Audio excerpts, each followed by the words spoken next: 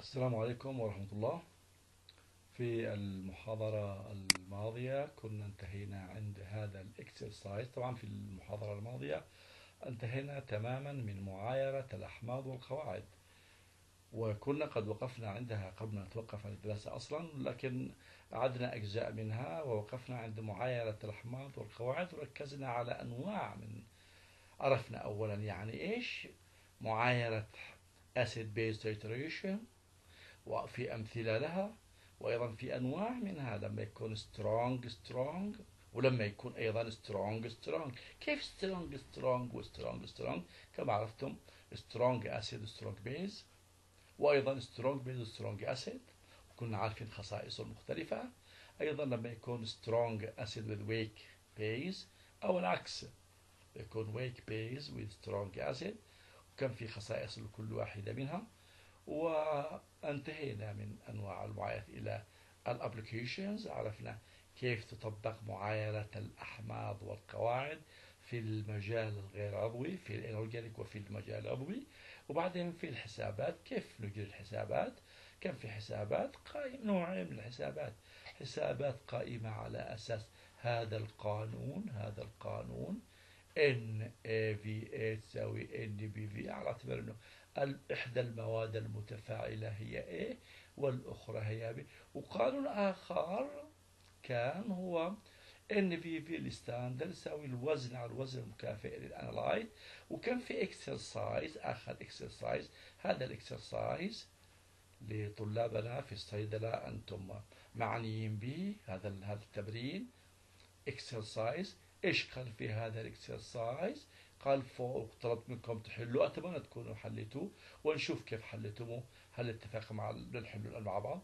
For a sample containing sodium carbonate of 1 جرام إذا في عينة وزنها 1 جرام هذه العينة فيها حاجات كثير لكنها تحتوي من ضمن ما تحتوي على كربونات الصوديوم.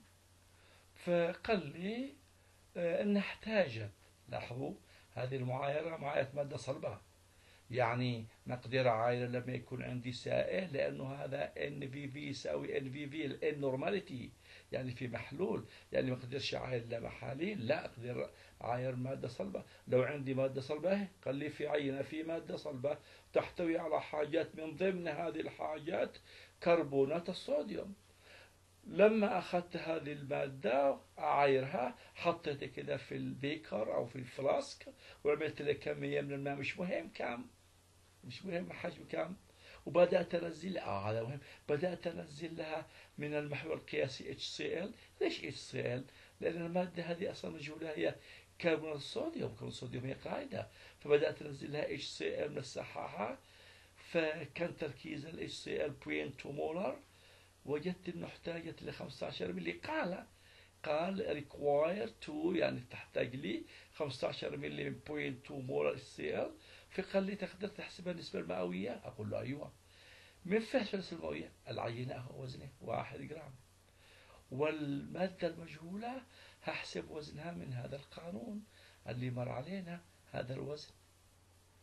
هذا الوزنها هيكون N V في ال standard مضروب في الوزن المكافئ لل analyte يحصل على الوزن. هذا الوزن اللي يحصل عليه هو وزن هذه المادة. ووزن العينة معلوم. بعدين نحسب وزن هذه المادة على وزن العينة واضربه في 100 يحصل على النسبة المئوية تعالوا نشوف كيف ممكن نحلها. تعالوا نشوف كيف ممكن نحلها. مثلا مثلا مثلا بنحلها بالطريقة الآتية. لاحظوا القانون قال إن في في للستاندرد يساوي الوزن على الوزن المكافئ للأنالايت إذا من هذا القانون فإن الوزن حق ال analyte يساوي يساوي من هنا يساوي. ال N V ال standard مضروب في الوزن المكافئ لل analyte ال N معلومة 0.2 ال V معلومة 15 ملي الوزن المكافئ طبعا دربنا كيف نحسب الوزن المكافئ في المحاليل. المادة هي كربونات الصوديوم.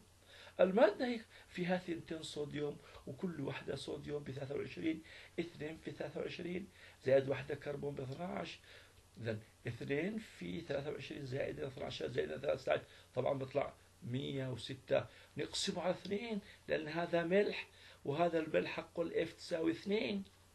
إجمالا أنا عارف 56 وقد حسبناها ما جيناش الآن نبدأ من الصفر قد حسبناها في المحاليل كيف نحسب الوزن المكافئ لمادة. 56 لما ضربت هذا في هذا طلع هذا الرقم. بس هذا الرقم بالمليغرام والعينات جاب لنا وزنه بالجرام أقدر أحول 168 مليغرام إلى جرام طبعا أقسمه على 1000 أصبح الكمية هذه ال 168 مليغرام هي 0.168 أو 168 من 1000 جرام. أصبحت الأنالايت اللي هو صوديوم معلوم عندي وزنه. إذا كم من النسبة المئوية لهذه المادة؟ وزن هذه المادة على وزن العينة في 100 وزن هذه المادة 0.168 ووزن العينة بسيط كان واحد هذه سهلة كثير. مضروب في 100 طلع 16 و8 من عشرة في المئة إذا النسبة المئوية لكربونات الصوديوم في تلك العينة اللي قد تحتوي على مواد عديدة لكنها احتاجت ل 15 ملي من محلول HCl اللي تركيزه 0.2 آه إذا طلع النسبة المئوية هي 16 و8 و10 في المية هي النسبة المئوية لهذه المادة. نرجع لموضوعنا إذا إذا هذا كان هو حل المسألة حق المحاضرة الماضية. نبدأ الآن محاضرة اليوم. محاضرة اليوم هي ثاني نوع من أنواع المعايرات وهو ال complexation titrations ركزوا معي مرة أخرى. سنركز على أشياء معينة في هذه المعايرة. مش هنروح نقول مو هي المعايرة إحنا عارفين أصلا ما هي المعايرة وإحنا عارفين أصلا ما هي شروط ال conditions وإحنا عارفين أصلا ما هي ال requirements وإحنا عارفين كل اللي عرفناه في المحاضرات الماضية المحاضرة الماضية الإلكترونية أو قبل ما نتوقف عن ال titration كل ما نعرفه موجود. هذه titration كل ما نعرفه عن المعايرة موجود فيها. لكن تعالوا نشوف هذا النوع هذا اسمه complexation titration أو معايرات تكوين المعقدات. تعالوا نركز على بماذا تختلف عن المعايرة الماضية اللي كانت acid based titration كل ما قلناه سابقا موجود هنا لكن تعالوا نركز على ما تتميز به هذا النوع معايرات. الكومبلسيشن تتجد طبعا أكيد كلكم تقول الآن كلكم تقول الآن متى مر علينا هذه؟ متى كنا نقول كومبلسيشن تتجد مر علينا ما كنا نقول أنواع المعايرات. ممكن نصنفها على نوع أساس نوع التفاعل. آه إذا أول حاجة ستختلف في هذه المعايرة هو نوع التفاعل. التفاعل في هذه المعايرة ما هوش acid based titration ما هوش تفاعل بين حمض وقاعدة أو بين قاعدة وحمض أو مادة حمضية مادة قاعدية لا لا. إيش بيكون؟ تعالوا نشوف إيش بيكون. طبعا مثل كل المعايرات هيكون تفاعل بين analyte و titrant ال analyte هنا ما هوش acid أو base مثل ما كان معنا في المعايير الماضيه لا ال analyte هو metal أو metal ion هو ايون فلز وال titrant هو complex agent هو عامل تكوين معقدات بغض النظر إيش النواتج اذا هذا هو اول حاجة تختلف فيها هذه المعايره وهو تعريفها هذا اللي تختلف عن غيرها هو تعريفها آه ال analyte هو metallic ion وال titrant هو complex agent آه هيتكون عندي metal ligand complex وإحنا دائما بالمعايرة الناتج نرميه ما نركزش عليه. اذا أول حاجة تمتاز به هذه أو أو أو يميز هذا النوع معايرات هو أن التفاعل يتم بين metal ion و complex agent اذا لو واحد قال لي تقدر تعرف ال complex agent titration؟ أقول طبعا. يقول لي هي إيش؟ أقول له is a titration هي معايرة. أيوة. In which the analyte is metal ion. And the titrant is complex agent بس. إذا عرفتها أنت. قلت هي عبارة عن معايرة بين المادة المراد تقديرها هو أيون فلزي والمادة القياسية أو المعاير هو عامل تكوين معقدات. آه. هذا تعريفها. تقدر تجيب مثال عليها؟ طبعا. مثال على ال metal ion أهو. الأيون الكالسيوم. هذا هذا مثال على على فلز أيون فلزي المغنيسيوم أيون المغنيسيوم الكادميوم الزنك بوتاسيوم حاجات كثير هذه أمثلة عليها. آه. وإيش ال complex agent؟ هو حاجة واحدة سنأخذها في ال complex. agent هي المعايرة. ال complex agent هي مادة نرمز لها بالرمز EDTA وهذه صيغتها صيغتها مش هنهتم كثير بالصيغة البنائية. مش. ولو إنه سهل الصيغة البنائية لكننا نركز عليها كذا.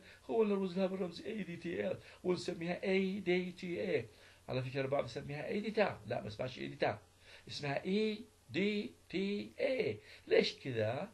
لأنه هذه الحروف هي الحروف الأولى من كلمات. هذا المركب. لاحظوا E جاي من إيثيلين. درست في الكيمياء النووية إنه إذا في عندي مركب عضوي فيه ثنتين كربون إذا واحد كربون eth meth.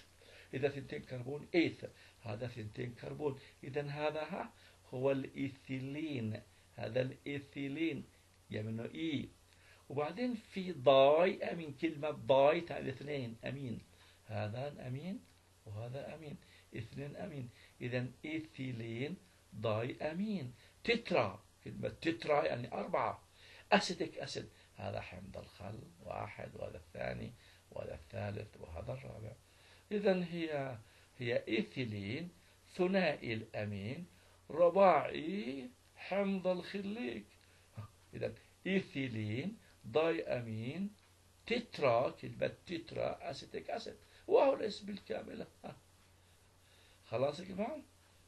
ethylene diamine tetra acetic acid هذه المادة هي ال complex agent اللي تتفاعل مع ال analyte اللي هو ال metal ion مثل مثل مثل مثل لتكوين ال complex المعقد. خلاص؟ خلاص؟ سيبك من كل هذه التفاصيل. هذه التفاصيل لأنه مش مع بعض إحنا. إذا أول حاجة يجب أن تكون قادر تعرفها هنا قد يطلب منك يقول لك define with example complexation titration تقول له هذا الكلام تقول هذا الكلام. تقول إيش؟ تقول هي عبارة عن معايرة يكون فيها ال analyte أيون فلزي ويكون فيها ال titrant عامل تكوين معقدات. من أمثلة هذا هذه وفي أمثلة عليها كثير درست في الكيمياء الفلزات الفلزات كثير حوالي 68 فلز لكن هذه من أمثلتها. ومثال واحد فقط لأنه هذا عامل تكون واحد فقط هو ال ADTA مو هو ال ADTA هو الإيثيلين داي أمين تترا أسيتيك أسيد هذا. آه. في مثال آه هذا مثال. لما نقول معايرة بين عامل تكوين معقدات مثل ال EDTA مثل مثل مثل خلاص هذا المثال. وتكون معقد. خلاص؟ خلاص؟ أنتهينا. طيب. بالمناسبة هذا التعريف هو أول حاجة تختلف به هذه المعايرة عن معايرة الأحماض والقواعد. في الأحماض والقواعد كان لنا تعريف كما رأيتم مختلف. آه. إذا هذا التعريف يختلف عن تعريف. هذا أول اختلاف وهذا أساسي هل هناك شيء آخر؟ تختلف في هذه المعايرة عن معايرة الأحمر أيوة. الإنديكيتور أوه هناك في ال acid base indicator كنا نعرفه. كيف كنا نعرفه؟ أعتقد كلكم عارفين. إنه كنا نعرفه بأنه weak organic acid or weak organic base change its color according to its values. كنا نعرف أنه حمض ضعيف. أو قاعدة ضعيفة لونها يتغير مع تغير قيمة البي اتش آه طيب. هذا الدليل هنشوف. وكم من أمثلة هذا الدليل؟ الفينولفتالين ال methyl orange ال litmus معجب. لكن هذا الدليل لاحظوا اسمه. ما اسموش ما اسموش acid base indicator اسمه يا جماعة metal indicator أو metal indicator اسمه metal indicator آه قال to detect the end point of EDTA titrations قال من أجل نعرف متى تنتهي معايرات أو ال end point لهذه المعايرات ها؟ لمعايرة ال EDTA آه نحن غالبا نست metal ion indicator اسمه نستخدم use metal ion indicator ال metal ion indicator change color when indicator is released from metal indicator complex as metal is consumed by titrant. قال لي على فكرة هذا الدليل اسمه دليل ال metal indicator وهذا الدليل بيكون له لون لما يكون مرتبط مع ال metal ولونه يتغير لما يتحرر من ال من ال analyte آه هذا ال metal مرتبط لهذا الشرطان ارتباط. metal مع ال indicator complex يكون له لون يكون ملون. And when وعندما the metal ion is bound to EDTA one says a color change ولما يا جماعة ال metal يرتبط بال EDTA ويتحرر الدليل يصبح اللون مختلف تعالوا شوف ببساطة تقول هذا الكلام والله مش واضح تعالوا نشوف بمنتهى البساطة إذا عندي دليل أشهر دليل من هذه الأدلة حق الـ حق ال complexation titration حق ال EDT في دليل نرمز له بالرمز اي بي تي هذا رمزه اي بي تي اي بي تي يعني إيروكروم بلاك تي ولا يهمنا بالكيمياء التحليليه إيش صيغته؟ ولا يهمنا مو هي البنيه التركيبيه له أبدا. هو دليل. اسمه أو نرمز له بالرمز الرمز. حقه EBT جاي من Eriochrome Black T لما نحطه على العينة يعمل مع العينة. لو العينة نشتي نقدر فيها المغنيسيوم المغنيسيوم فلز.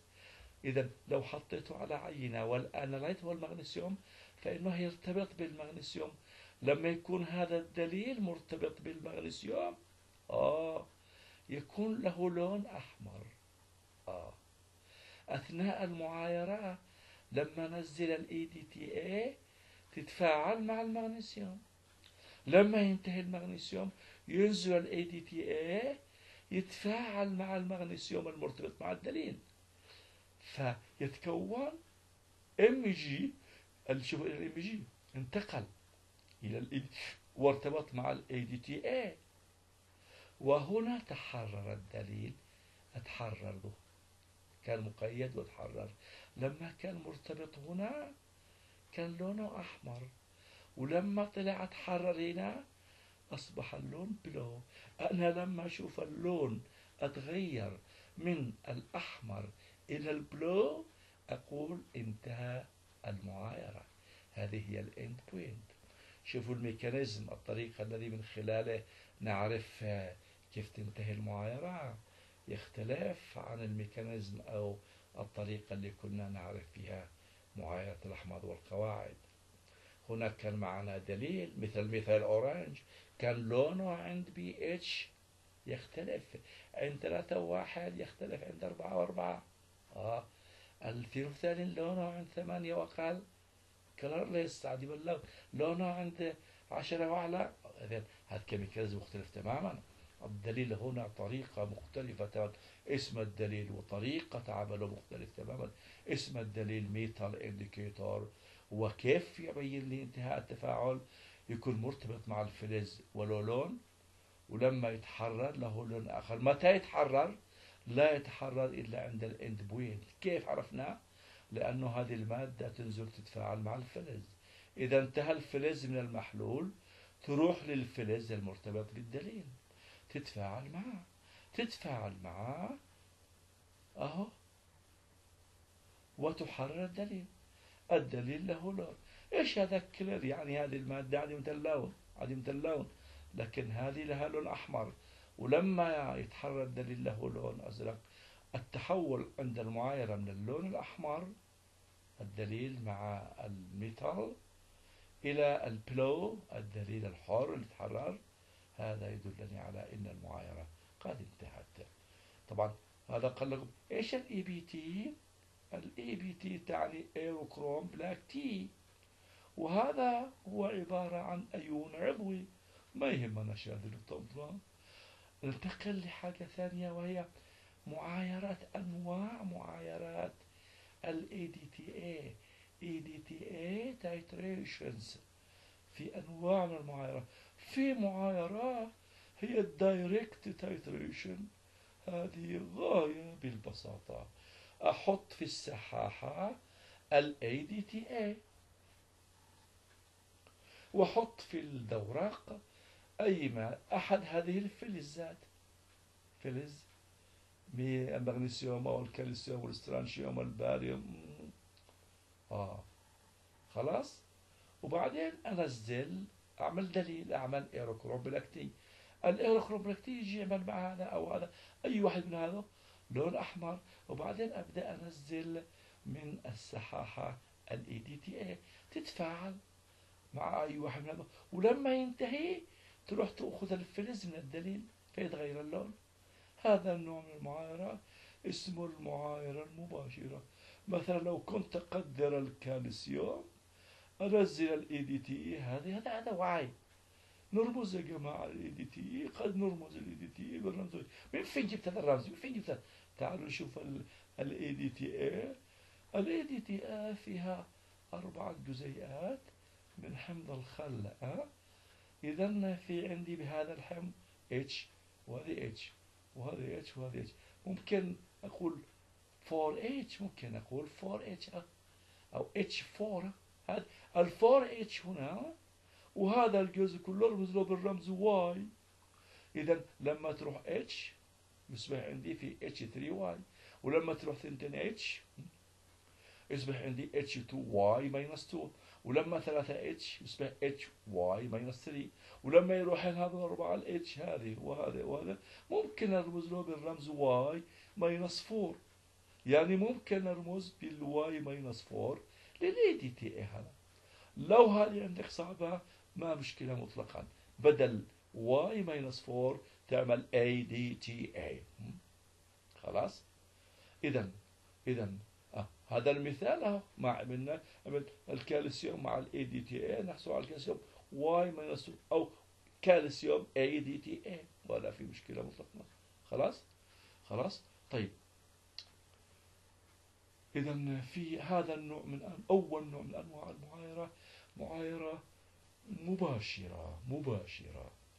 يعني عندي في السحاحة EDTA أو Y Y minus 4 هذا ال EDTA وعندي في الدورق عندي الكالسيوم. مثلا قد يكون بدل الكالسيوم مغنيسيوم سترانشيوم باريوم هذا مثلا مثال آه طبعا نضبط البي اتش عند بي اتش 10 والبي اتش لها دور. في جعل المحلول مناسب لنوع معين من من من من المواد دون غيره. هذه النقطة أيضا نقطة من اللي يميز يميز المعايرات المعقدات أو ال EDTA إنه ممكن نضبط البي اتش مش هنهتم كثير بهذا لكن يجب أن تعرف إنه بمعايرة تكوين المعقدات يجب أن يكون بي اتش معينة. ليش؟ مثلا هذه المواد هذه المواد إذا غيرت ال pH مثلا أنا أشتي قدر المغنيسيوم أو الكالسيوم أو أو أو الزنك هذه البي اتش تنفع عشرة. لكن لو أشتي الكادميوم مثلا أو الرصاص آه هنا هتختلف أو ال أو الإنديوم تختلف البي اتش يعني بتغيير البي اتش تتغير نوع المادة بسبب التكافؤات مش هندخل في تفاصيل النقطة. إذا من هذا المبدأ أول نوع من المعايرة معايرة مباشرة.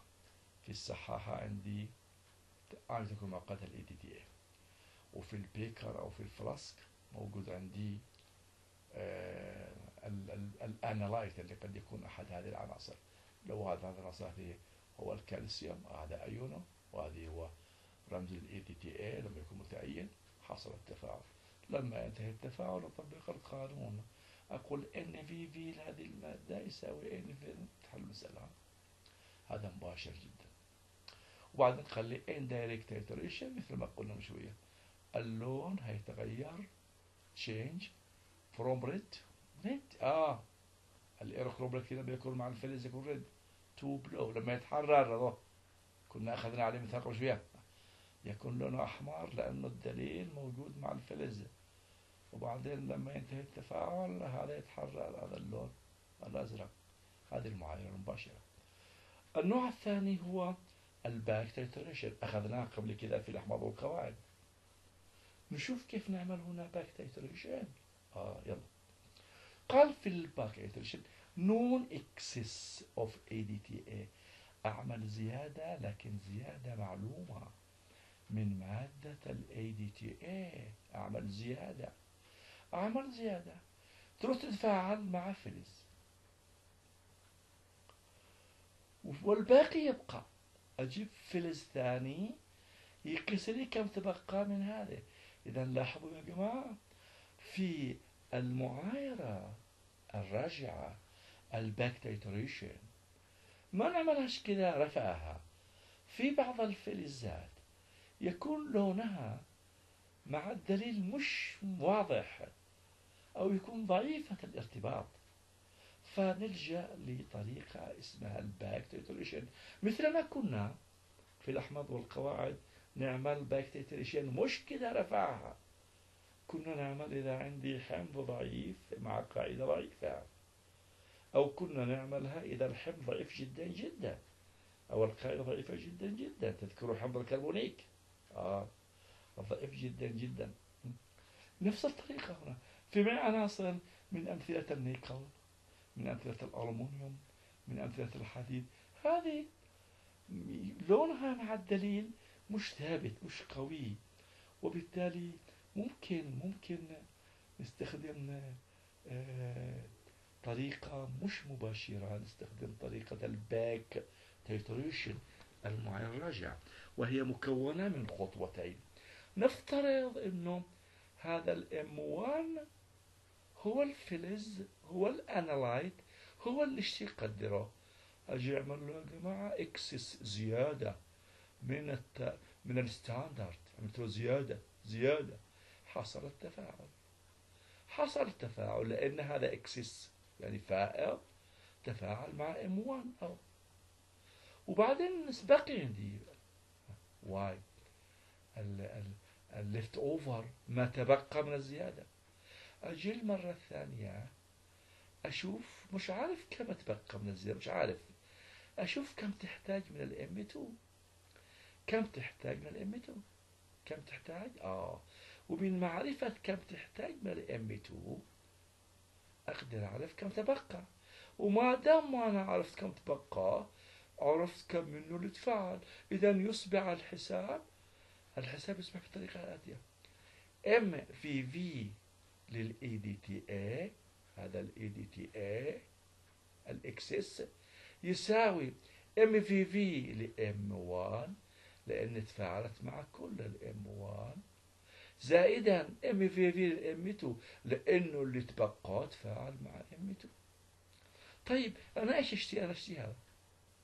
هذا أنا عارف تركيزه وعارف حجمه.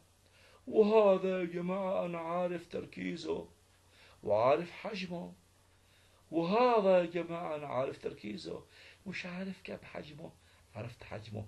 ومن خلال معرفتي لهذا الحجم آه أقدر أعرف كم تفاعل. أو الآن لما أحسب حق هذا أحسبه بمعادلة بسيطة. أقول M في V لل M 1 للمجهول يساوي M في V ال EDTA ونقول هذا الثانية. ناقص M في V لل M 2 مباشرة مباشرة. هذا back titration طبعا في نوع ثالث أنا سأعفيكم منه أعفيكم منه مش هلزمكم بحساباته وطرقه. وهذا النوع الرابع مش هعفيكم مش مش ألزمكم بحساباته. لكن يجب أن نعرف إيش يعني هذا النوع؟ إيش يعني؟ هذا النوع اسمه displacement titration. هذا النوع اسمه المعايرات الإحلالية. طبعا displacement حاجة تحل محل حاجة. معايرة إحلال. هذه معايرة فيها من الذكاء والمهارة الشيء الكثير. فأنا أريد أن أخبركم عنها. لن أسألكم فيها. لن أسألكم فيها كمسائل كحسابات. لكن يجب أن تكون عارف تعني إيش؟ انتبهوا يا جماعة. هذا النوع فيه مهارة كبيرة جدا. للفلزات for metals without a good indicator. ion اللي ما يكونش لها دليل جيد. The analyte can be treated with excess. مع زيادة. بس مش زيادة من ال EDTA لا. زيادة من معقد. المغنيسيوم مثلا مع ال EDTA آه. فلما أضيف هذه المادة هيحل ال analyte حقي محل هذا المغنيسيوم اللي كان مرتبط. أجي أنا يا جماعة بالخطوة الثانية أقدر هذا المغنيسيوم. ومن خلال تقديري له أعرف كم منه مثلا هذا الزئبق الميركوري. هذا ملوش دليل جيد يعني. أجيب هذا المعقد. وأضيفه له طبعا هيفك ال Mg عن ال Y يتحرر. الآن هذا تقدر تقيسه؟ هذا عايره. عايرته. هذا عايره. عرفت كم منه؟ بس هذا من فين جاء؟ هذا جاء لما حل محله هذا. إذا تركيز هذه المادة مساوية لتركيز المادة اللي حلت محلها. أعطيكم مثال كيف أعطيكم مثال؟ يعني يعني لو أنتم في القاعة جالسين على الكراسي الطلاب جالسين على الكراسي كل كرسي فوقه طالب. دخلوا مجموعة ناس يشتروا يجلسوا بس ما فيش كراسي فاضية. كل الكراسي في عليها ناس كل كرسي في عليه طالب. بس هذول الناس اللي دخلوا هذول اللي دخلوا القاعة هذول الناس اللي دخلوا القاعة يشتوا كل كرسي فوقه طالب ما فيش كراسي فاضية. الناس اللي دخلوا القاعة صرفوا يعني كانوا أقوياء. كل واحد مثلا أخذ طالب ورفعهم فوق الكرسي حقه وجلس بدله. أنا مش عارف كم منهم اللي دخلوا. مش عارف كم منهم اللي دخلوا. ولا أقدر أروح أشوفهم ما أقدرش أميزهم. مش عارف كم منهم اللي دخلوا. أروح أعد الناس اللي خرجوا. وأقول كم خرجوا؟ واحد اثنين ثلاثة أربعة. سبعة. إذا الناس اللي دخلوا سبعة. هذول الناس اللي دخلوا وهذول الناس اللي كانوا جالسين على الكراسي جلسوا هذا بدلهم ها طلعوا هذا طلعوا. هذول طلعوا أقدر أقدرهم بطريقة بسيطة جدا. هذا اسمه displacement titration هذا اسمه عكسي. لكن مرة مرة ثانية يجب أن نكون عارفين يعني مفهومه بس لكن هنا هنا يجب أن أكون عارف تماما ال direct titration وعارف تماما ال back titration هذا يعني مش هلزمكم به كثير. وهذا النوع هذا ما هو حاجة كليا مختلفة. يعني فقط للناس أنا يعني أفكر أقول ما أقول لكم شيء عليه لكن أقول قد يكون في ناس غاويين يعني. لا أريد أن أحرمهم. فهذا سأقول لكم عليه ولن ولن ألزمكم به. هذا ال indirect titration اللي هو غير مباشر تماما. تصوروا انه نقدر به anions anions أصلا ال EDTA يا جماعة هو anion هو سالب هل يمكن تقدر anions هل يتفاعل anions مع anions مستحيل. مستحيل. ولذلك لما يجي واحد يقول كيف تقدروا anions لما تقولوا anions can be analyzed by؟ كيف by؟ آه. أول شيء by precipitation with excess metal ion. أجيب مادة بس كثير. ترسب هذا ال anions ويبقى منها جزء. وقيس اللي يبقى منها. وعرفت ان اللي بقى منها كم منه كمية ال anions هذا يعني غير مباشر بشكل كبير. على حال مرة ثانية في أنواع من معايرات ال EDTA أنت ملزم أن تعرف ال direct titration وال back titration وال back titration مرة ثانية أجيب إكسس أعمل إكسس تفاعل مع ال مع ال analyte وبعدين يبقى left over هذا اللي بقى أقيسه بفلز ثاني وأرجع أستخدم هذه العلاقة. هذه العلاقة بالحسابات. ال displacement نعرف مفهومه لو قدرنا وال indirect يعني آه. الآن آخر شيء في هذا المعايرة ال quantitative quantitative applications يعني التطبيقات الكمية. وين نطبقها هذه يا جماعة ما أستخدمش من أجل أشوف الأحماض والقواعد بال ال inorganic لا هذه أطبقها فين؟ ال complexation titrimetry قال لي continues مستمرة to be listed as standard method. لا تزال حتى الآن تستخدم كطرق قياسية for the determination of water hardness لقياس عسرة الماء. لا أدري كنا كنا على أساس أنه بالمختبر تقوموا بإجراء تجربة عملية لقياس عسرة الماء ال water hardness أيضا قياس الكالسيوم في الماء. ليش حددنا هذا؟ بس هذا اللي نقدر نقصد لا ممكن نقدر يا جماعة كل ال metal ions في المحاليل المائية. بس هنا تطبيق كبير يعني تعتبر قياسية لمعرفة عسرة الماء وعسرة الماء طبعا. تنتج من وجود الكالسيوم والمغنيسيوم والحديد الثنائي. هذا الماء. لكن إذا في عندي محلول مائي واشتي قدر ال metal ion الفلز الأيوني.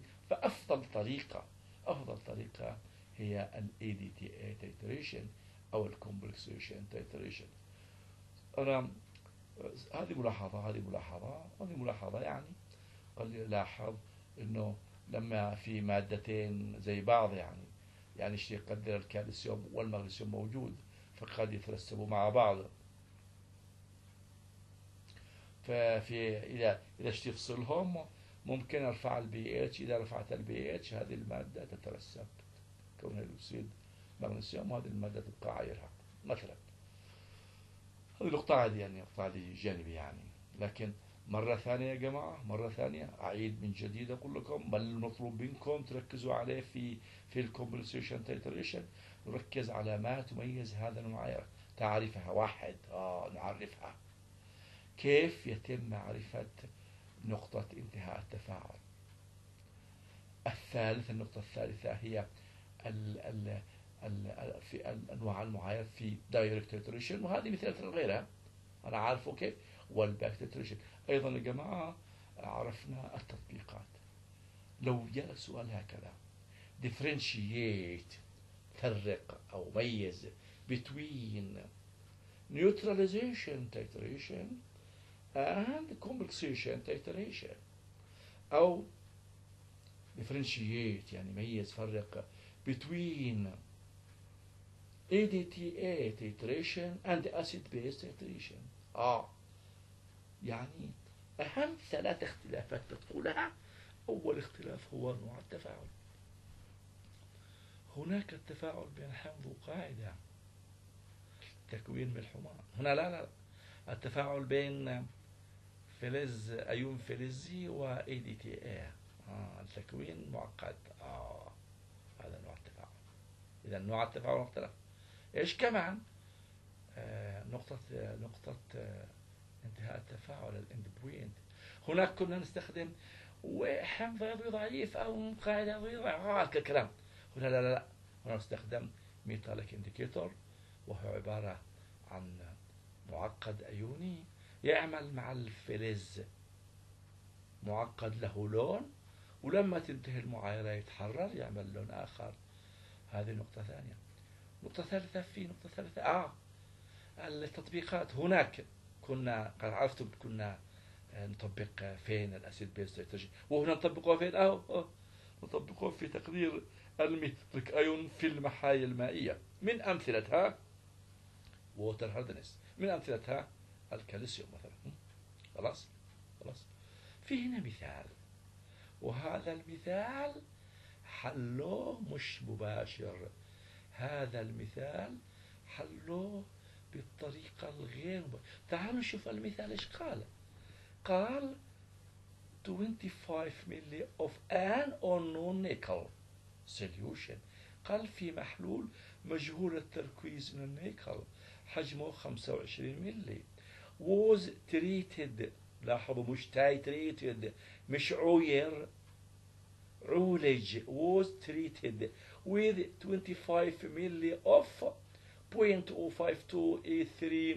EDTA إيش هذا ان اي 2 اي دي تي اي ملح من أملاح ال EDTA مش كنا قلنا أي حمض نستبدل الهيدروجين ب Na يصبح ملح اتش سي ال اتش سي ال لو بدلنا اتش من إن اي يصبح NaCl ملح فهذا ملح من أملاح ال EDTA ولا يهمك EDTA ما لأنه بعض واحد يركز على يقول ما أدري هذا Na EDTA هذا ملح من أملاح ال EDTA عاديه وبعدين وبعدين وبعدين ضبط البي إتش. قال the pH of solution was buffered to 5.5 يعني كان البي إتش خمسة ونص. لأن هذه البي إتش مناسبة لهذا الفلز. في الكالسيوم تذكروا قبل شوية قلنا والمغنيسيوم كان البي إتش 10 هنا لا هنا نشتي آه. وبعدين and the back titrated back. أهو خلاك. يجي واحد يقول مدرنين هذه المعايرة معايرة. باك تيتريشن آه قال لك قال إنه هنا عمل. وبعدين قال باك باك تيتريتد ويز آه اذا هنا يا جماعة هذه المادة اللي هي الباك 17 و 61 ملة. من إيش؟ اوف بوينت أو 2299 مولر زنك هذه المادة. إذا ال analyte هو النيكل. والمعايرة هي EDTA والمادة الثانية هي الزنك مش كنا قلنا. في ال back titration عندي مادتين. آه. وين المادتين؟ في ال back titration هذا ال back. عندي M 1 أعمل له excess ساعة وبعدين عندي M 2 هذا M 1 في المثال اللي إحنا بقول الآن.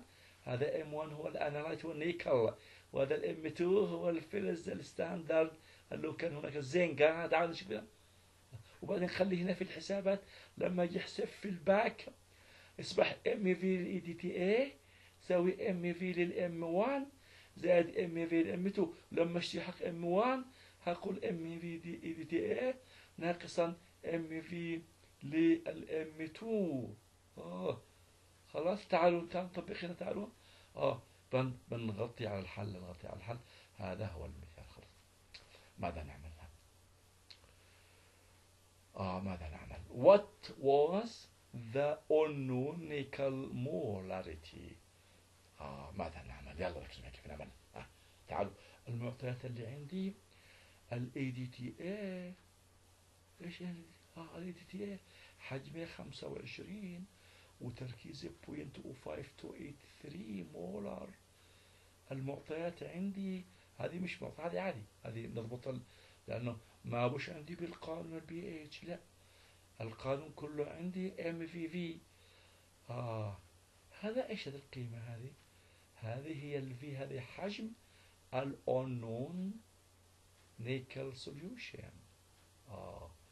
وهذه ال 25 ملي هذه حجم ال EDTA وهذه ال point O هذه تركيز هذا المولر يعني molar. وهذا المادة اهو حجمه وتركيزه معلوم. اذا إيش بنعمل؟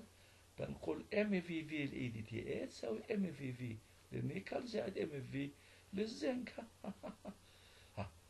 الآن قال لي هنا قال لي مول أوف زنك آه يساوي يساوي 17 إيش هذا؟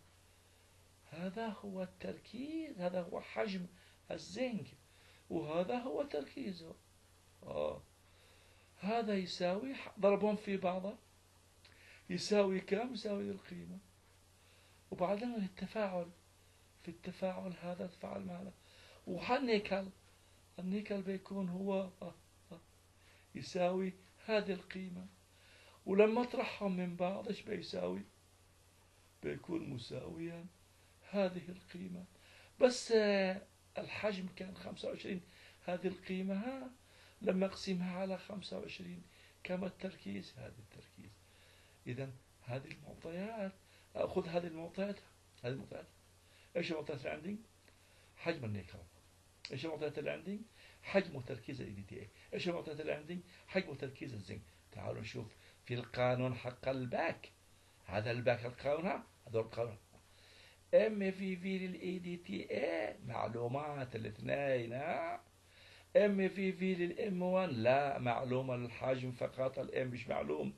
MV V لل M 2 معلومة الاثنين. ال M وال V okay يا جماعة. اذا هذه الحسابات على ال back titration وبكذا تنتهي معايرة ال complexation titration. هذا هو معايرة ال complexation titration. آه نأخذ معايرة أخرى؟ بتأخذ منها دقائق فقط؟ مش ال precipitation titration. ولا نتحدث نتحدث فقط بإيش تختلف هذه عن المعايرات السابقة؟ بإيش تختلف ال precipitation titration عن ال EDTA titration وال acid base titration أول شيء تختلف عنه سيبك من كل هذا الكلام خليك معي. أول حاجة تختلف عنه هي نوع التفاعل. لاحظوا هذا التفاعل هو تفاعل تكوين معقدات. إيش هو هذا التفاعل؟ هذا التفاعل بين مواد إيش هذه؟ aq aq هذا التفاعل aqueous يعني يعني ذائب وهذا ذائب. وهذا إيش؟ s. هذا ال solid. هذه هي معايرة الترسيب إذا هي مكتوبة هنا. بس أنا أشتيكم من هنا من هنا. من هنا لو واحد يقول لك ما هي معايرة الترسيب تقول له is a titration in which the reaction between analyte هذا ال analyte مثلا وهذا ال titrant أيوة is a reaction is a precipitation reaction. هي معايرة. حيث أن التفاعل بين ال analyte وال titrant هو عبارة عن تفاعل بين أو تفاعل ترسيب precipitation reaction. هذا تعريفها مرة ثانية ال precipitation reaction خليها is a titration. اشتيك تعرفها من هنا؟ أسهل لك. لكن مش is a titration in which the reaction between the analyte and the titrant forms هنا ما نخليش precipitation لكن خلي forms an insoluble precipitate وهذه طريقة أخرى برضه إما تقول إنه التفاعل هو تفاعل ترسيب أو تقول إنه يكون راسب واللي يكون راسب يا جماعة هو أصلا تفاعل ترسيب أو هذه مادة وهذه مادة. هذه aq يعني aqueous aqueous يعني ذائب. لكن هذا s يعني راسب. هذا هو ال precipitate. هذا هو تعريفه هذا هو تعريفنا لمعايرة الترسيب. وهي بهذا التعريف تختلف عن معايرة الأحماض والقواعد ومعايرة تكوين المعقدات. نجي حاجة ثانية. كيف ممكن نجد ال end point آه. في جماعة طرق كثيرة. أهم طريقة لمعرفة ال end point عملتوا هذه المعايرة. أنا أعرف أنتم عملتوا هذه المعايرة. عملتوا هذه المعايرة واستخدام هذا الدليل. إذا نعرف نقطة انتهاء التفاعل باستخدام دليل اسمه مور indicator. مور اسم واحد هو صاحب هذا الدليل. ومور هو الدليل هذا حق مور هو ال potassium chromate. كرومات البوتاسيوم. إذا وهذه النقطة الثانية. وهذه النقطة الثانية اللي تختلف في هذه المعايرة عن غيرها. تختلف بال end point بنوع الدليل. الدليل هنا ما هوش آه، آه، حمض عضوي ضعيف أو قاعدة عضوية ضعيفة.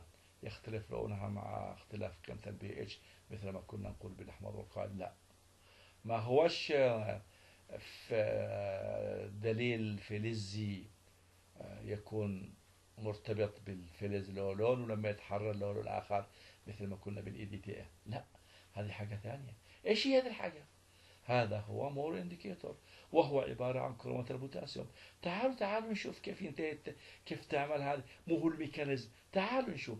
لو افترضنا يا جماعة نشتي نقدر الكلورايد نفترض إنه نشتي نعمل آه تقدير volumetric determination of chloride by uh, direct with standard AG المادة القياسية يا جماعة بمعايير الترسيب هي نترات الفضة. المادة القياسية هي الفضة من فين نجيبها؟ من نترات الفضة. والمادة المجهولة هنشوف إيش المادة المجهولة. لو المادة المجهولة هنا هي Cl مثلا chloride chloride chloride يحصل تفاعل هكذا. ويتكون يا جماعة AgCl راسب. هذا التفاعل. آه. ولما ولما يا جماعة آه ينتهي ال chloride ال chloride طبعا التفاعل يتم بنسبة آه واحد إلى واحد واحد مول مع هذه المعادلة وزنها واحد مول إلى واحد مول. خلاص؟ عندما يا جماعة when chloride is finished انتهي الكلورايد. الفضة نزلت تبحث عن كلورايد. ما وجدتش قد انتهى. وجدت هذا الدليل. وجدت كرومات البوتاسيوم. اتفاعلت مع الكرومات. وكونت راسب. بس هذه المرة هذا الراسب مش مش هذا الراسب. هذا الراسب كان white precipitate راسب أبيض. لكن هنا هذا الراسب red أحمر. لما أشوف اللون أصبح أحمر أقول المعايرة انتهت التفاعل انتهى. إذا مرة ثانية الدليل هو مور indicator وهو عبارة عن مركب كرومات البوتاسيوم أثناء المعايرة تنزل الفضة تتفاعل مع ال analyte قد يكون كلورايد لكن قد يكون مثلا برومايد قد يكون iodide خلي بالك. ولما ينتهي هذا هذه المادة تنزل تتفاعل مع الكرومات هيكون لون الراسب مختلف هيكون أحمر. في دليل آخر اسمه فاجان مش هنحدثكم عنه نكتفي بهذا الدليل.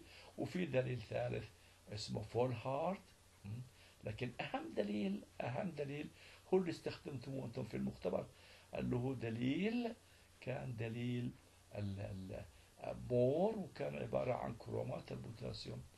هل في ما عملناش نناقش تطبيقاتها ما عملناش وين نطبقها. وين نطبقها؟ ما ذكرناش التطبيقات. مش على التطبيقات عليك التطبيقات. التطبيقات هي الآتي. ال analyte دائما هو ال silver. وال ال ال titrant معذرة ال titrant. ال titrant هو ال silver. من فين نجيبه؟ ال standard هو ال silver. من فين نجيبه؟ من ال silver nitrate من نترات الفضة. أما ال analyte هنا مذكور لك الكلورايد. عمما قد يكون كلورايد وقد يكون برومايد وقد يكون iodide نكتفيها إذا مرة ثانية. ال analyte في ال precipitation titration هو ال silver. وال وال وال analyte هو قد يكون كلورايد موجود. وأما ال titrant فهو فهو ال silver. okay يا جماعة؟ اذا لو حد قال تطبيقاته تطبيقاته مش من أجل قدر الاحماض والقواعد لا. مش من أجل قدر الفلزات الايونيه لا. من أجل قدر الهالوجين الايونات الهالوجينية.